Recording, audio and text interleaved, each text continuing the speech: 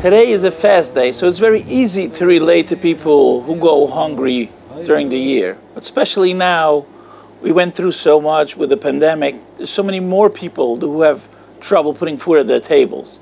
But it's something very interesting that the rabbis of the Talmud teach us that a fast day is not complete if you don't take the money you saved for not eating that day and share it with those in need.